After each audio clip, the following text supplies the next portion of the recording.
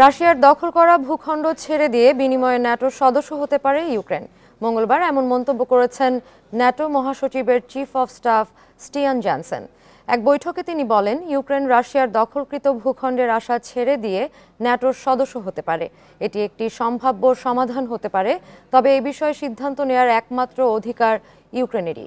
তারাই ঠিক করবে, কোন শর্তে তারা আলোচনা করবে। জ্যানসন বলেন, এটি শুধুমাত্র অনেকগুলো সমাধানের একটি এবং এটি কোনোভাবে ন্যাটোর আনুষ্ঠানিক অবস্থান নয়। তার এমন মন্তব্যের ক্ষুব্ধ প্রতিক্রিয়া জানিয়েছে কিয়েভ। ইউক্রেনের পররাষ্ট্র মন্ত্রণালয়ের মুখপাত্র ফেসবুকে লিখেছেন, ইউক্রেনীয় ভূখণ্ড ছেড়ে দিয়ে ন্যাটোতে যোগ দেওয়ার বিষয় পুরোপুরি অগ্রহণযোগ্য।